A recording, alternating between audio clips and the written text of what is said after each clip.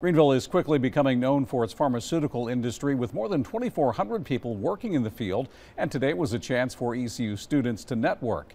Today is the first day of the Pharma Conference at the Campus Student Center. Both today and tomorrow will offer information, discussions, and chances to network with others in the industry. Around 55 companies were there with 180 attendees representing the pharma industry and academic institutions. Well, event like this is important for the pharmaceutical professionals of Eastern North Carolina to have a chance to get together, share knowledge, uh, meet people that do similar jobs in other companies, see how they do it, compare notes, and uh, basically have a sense of community feeling with the other pharmaceutical professionals. There were also breakout sessions covering topics like the growing industry here in Eastern North Carolina.